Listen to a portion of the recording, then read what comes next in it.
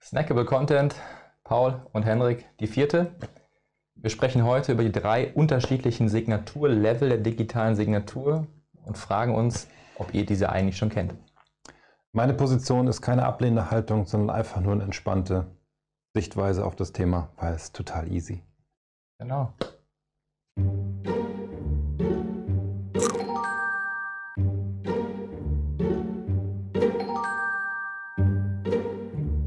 Ja, Paul, Thema heute, vierte Episode, nachdem wir schon über das Thema New Work und Arbeitsverträge gesprochen haben. Welche Signaturlevel gibt es? Du hast letzte Woche hast du über das Thema der einfachen Signatur gesprochen, dass du damit ja. Arbeitsverträge unterschreibst. Ja. Ähm, vielleicht, bevor ich gleich mal einen Einblick gebe, was, was, sagt, was sagen dir diese drei Signaturen denn? Also wie, wie interpretierst du die bisher? Ähm, einfache Signatur, jemand anders hat es gelesen und bestätigt. Mhm. Qualifizierte Signatur, würde ich sagen, da habe ich noch eine technische Ebene mit drin, mhm. die irgendetwas absichert. Mhm. Und die fortgeschrittene, mhm. glaube ich dazwischen, ne? ich habe jetzt überschritten, ja. ist irgendwie noch ein Level dazwischen. Ja. Also am Ende geht es eigentlich nur um mehr Nachweis, dass der, der unterschrieben hat, digital wirklich derjenige war oder ist, der, dem ich das zugeschickt habe. Ja. Hört sich erstmal ganz schön kryptisch an, oder? Aber ist total easy. Ich versuche mal mit den Mythen aufzuräumen. Also, am Ende gibt es zwei Arten der Signatur. Es gibt sogenannte personenbezogene elektronische Signaturen. Ein Beispiel dafür ist die qualifizierte elektronische Signatur und es gibt sogenannte Signatursiegel, die auf juristische Personen, also auf Organisationen wie HSP oder Develop ausgestellt werden. Das erstmal so als grobe Gliederung. In jedem dieser zwei Segmente, Siegel oder personenbezogene Signatur, können wir jetzt in einfache, fortgeschrittene und qualifizierte Signaturen unterteilen. Das bringt uns natürlich eine gewisse Entscheidungsmöglichkeit und eine gewisse Komplexität mit. Ich habe eine Frage. Gerne. Zum Thema Siegel. Mhm. Ist das wie ein Personalausweis? Nee, ist es nicht. Ähm, es ist letztlich äh, eine Organisation, die initial geprüft worden ist. Ja, von wem? Von einem Vertrauensdiensteanbieter. Das heißt also die EIDAS, das ist die Europäische Signaturverordnung, die seit 2016 für alle in Europa arbeitenden Staaten gilt, hat angeordnet, dass um eine zertifikatsbasierte elektronische Signatur auszustellen, Vertrauensdiensteanbieter als Mittler zwischen Personen, die unterschreiben und dem Vertragsdokument äh, eingeführt werden. Ganz konkretes Beispiel. Ich möchte einen Arbeitsvertrag bei Develop ja. qualifiziert unterschreiben. Ja. Ich muss mich zwingend vorab bei einem Vertrauensdienstanbieter, bei uns ist das zum Beispiel die Bundesdruckerei, mit meinem Personalausweis oder Reisepass oder einem anderen gültigen Ausweisdokument, zum Beispiel per Videoident, registrieren und identifizieren. Was okay. passiert dann? Entschuldigung, äh, ja. da schließt sich doch für mich schon der Kreis. Ja. Ich habe einen Personalausweis. Mhm. Damit bin ich ein eindeutig identifizierbar hier in der Bundesrepublik Deutschland. Ja. Und dieses, ja, dieses Dokument oder diesen Nachweis nutze ich, um mich bei einem Vertrauensdiensteanbieter zu autorisieren, dass ich ich bin. Genau. Ähnlich wie Postident-Verfahren. Ganz genau. Also am Ende geht es im ersten Schritt darum, ich brauche eine sogenannte digitale Identität, also mein digitales Pendant zum Personalausweis. Okay. Jetzt gibt es wie viele Vertrauensdienstanbieter in Deutschland? In Deutschland, es gibt aktuell zwischen acht und zehn. Okay, wenn ich jetzt bei dem einen das habe, mhm. gilt das dann auch für alle anderen, weil ich mich ja einmal autorisiert habe? Nein. Gibt es nicht. Aber es gibt, das ist gut für euch, es gibt Entwicklungen, wie zum Beispiel Identifizierungsanbieter, die zum Beispiel Verimi oder IDNow heißen, die bündeln digitale Identitäten mhm. und geben diese an unterschiedliche Vertrauensanbieter weiter. Das heißt also, das, was wir gesetzlich vorfinden, dass wir uns also bei unterschiedlichen Vertrauensdiensteanbietern identifizieren, registrieren müssen, wird durch einen zusätzlichen Service, die Identifizierungsanbieter ausgehebelt, sodass man in Zukunft, so die Idee, über ein oder zwei Anbieter sich in jede notwendige Stelle integrieren kann mit seiner digitalen Identität. Okay, das heißt, das Thema steht nicht am Anfang, aber noch in der Findung. Wir sind in der Wachstumskurve, in der Lernkurve, ja. Wenn ich jetzt mitmache, mhm. hat meine Entscheidung, jetzt mitzumachen, Einfluss auf die weitere Entwicklung? Sie hat Auf jeden Fall. Also ähm, in dem Sinne, dass ihr natürlich auch Feedback an uns geben könnt und wir direkt Feedback an die Entscheidungshoheiten letztlich weiterleiten können. Ne? Okay.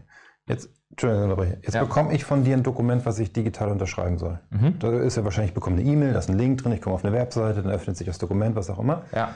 Wenn ich eine einfache Signatur darunter setzen soll, brauche ich dann eine digitale Identität? Nein, brauche ich nicht. Das heißt, da bestätige ich doch einfach nur mit meinem Mausklick. Und was passiert dann technisch? Was wird da bestätigt? Was am Ende, am Ende wird dort werden drei Dinge aufgenommen. Ähm, wir nehmen den Namen, den Vornamen, die E-Mail-Adresse und einen Zeitstempel auf. Und zusätzlich als fünftes gucken wir uns noch an, wie das Signaturbild aussieht. Am Ende haben wir also fünf Datenpunkte, die wir aufnehmen bei einer einfachen elektronischen Signatur. Auch die IP-Adresse von meinem Internetanschluss, mit dem ich gerade unterwegs bin? Die, die nehmen wir grundsätzlich nicht auf, nein. Okay das, heißt, es wäre theoretisch so, dass jemand anders meine E-Mail bekommen hat, mhm. das öffnet und für den Empfänger unterschreibt, weil er die E-Mail abgefangen hat, was auch immer. Das ist grundsätzlich möglich, aber was wäre denn zum Beispiel, wenn wir den Vertrag postalisch zuschicken und jemand die Post abfängt? Das gleiche, ne? Ja. Das heißt, wenn ich jetzt meinetwegen als Familie ein Familienpostfach habe und ich bekomme so eine E-Mail, wo ich was unterschreiben soll mhm. und irgendjemand aus meinem Haushalt unterschreibt das und nicht ich, obwohl es an mich adressiert war, mhm. kannst du das als Absender nicht nachvollziehen? Ich kann, also das Signaturbild ist ein Indikator. Am Ende ist das eine Möglichkeit, wo letztlich auf einer Basis einer einfachen elektronischen Signatur ähm, man auch Fälschungen vornehmen kann. Okay. So, wenn ich das unterbinden möchte und sage, ich möchte schon, dass der Paul Liese das unterschreibt, weil dem habe ich das ja geschickt, ja. dann brauche ich die fortgeschrittene oder die qualifizierte? Dann brauchst du mindestens mal die fortgeschrittene elektronische und personenbezogene Signatur, weil wir hier ein Ein-Faktor-System haben, mit dem wir sicherstellen können, dass ich mich über einen Benutzername und ein Passwort und eine vorherige Identifikation beim Vertrauensdienstanbieter ausweisen muss. Wir können aber noch einen Schritt zurück. Wenn wir eine einfache elektronische Signatur nehmen, können wir das Dokument und den Prozess auch mit einem, mit einem prozessgebundenen Passwort schützen, was wir nur an die Person weiterleiten, die unterschreiben soll. Könnten die einfache elektronische Signatur also auch nochmal, ich sag mal, aufpimpen. Okay. Ähm, jetzt bekomme ich von dir ein Dokument und du erwartest von mir die fortgeschrittene Signatur. Ja.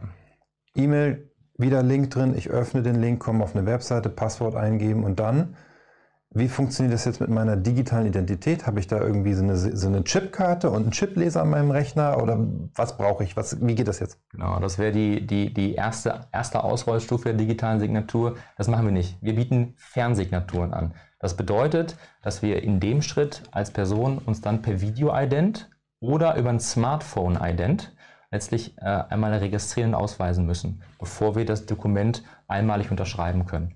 Ganz wichtig, diese Identifizierung müsst ihr nicht jedes Mal machen, sondern einmalig und hat dann Gültigkeit, solange wie euer Ausweisdokument gültig ist.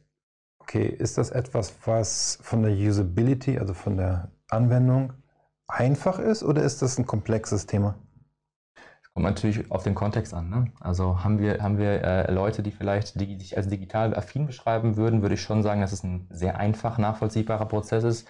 Was ich mitbekomme, ist, dass wir, ähm, also das, die häufigste Schwierigkeit im Thema ist eigentlich die IT-Infrastruktur auf Kundenseite. Heißt also, dass zum Beispiel halt keine Kameras vorhanden sind, wenn ich ein Video-Ident machen möchte. Ähm, oder zum Beispiel auch einfach eine zu schlechte Internetverbindung vorherrscht, um es zu nutzen. Das sind Themen. Wenn man aber in, in, sagen wir mal ein standesgemäßes äh, IT-Infrastruktur-Setup hat, also mit einem Laptop, ähm, ich halte immer hier eine Kamera, also ein Laptop mit einer Kamera, mit einer stabilen Internetverbindung seid ihr in 10 Minuten durch. Also nichts, wovor man Angst haben sollte. Ist das ein Blocker für mich in der Kanzlei zu sagen, ich gehe das Thema nicht an, weil meine Mandanten da nicht durchkommen? Nein, überhaupt nicht. Und ich sage euch auch warum. Weil wir zusätzlich zu diesen gerade beschriebenen zwei Methoden, wie man zu infizieren, noch eine dritte anbieten, die wir ziemlich exklusiv in Deutschland anbieten. Und zwar nennt sich das das Vor-Ort-Ident.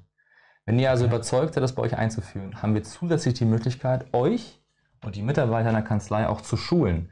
Was also ein häufiges Szenario ist und was höchst attraktiv ist, dass Berater und Beraterinnen, die im direkten Mandantenverhältnis stehen, als verlängerter Arm des Vertrauensdienstanbieters auftreten und Mandanten direkt vor Ort über Smartphone infizieren können. Okay, was für einen Vorteil hat der Mandant davon? Die Zusammenarbeit mit der Kanzlei verstehe ich. Mhm. Das ist dann digital, ja. digitale Signatur. Mhm. Ist das der einzige Vorteil für den Mandanten oder kann er diese digitale Identität mit vor Ort, was auch immer, ja. auch woanders nutzen? Er kann sie natürlich auch woanders nutzen. Das heißt also, wenn der Mandant einmalig identifiziert ist, wie gerade eben schon kurz beschrieben, ist diese digitale Identität so lange gültig wie das Ausweisdokument. Heißt, er kann natürlich ab dann auch allen intern oder aber auch mit anderen Dienstleistern äh, auftretenden Schriftverkehr elektronisch unterschreiben. Das ist ein großer Vorteil. Und ihr habt natürlich auch die Möglichkeit, den Mandanten dahingehend zu beraten, dass er weitere Prozessvorteile hat dadurch. Mhm. Wie nimmst du das denn wahr? Siehst du das als Vorteil an?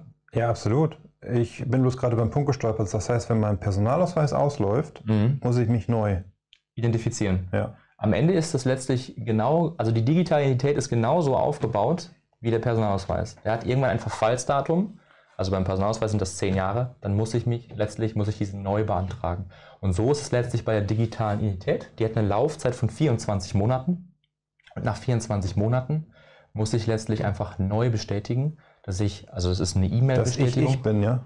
Dass du an die hinterlegte E-Mail-Adresse, dass du du bist. ja, so ungefähr kann man das sagen.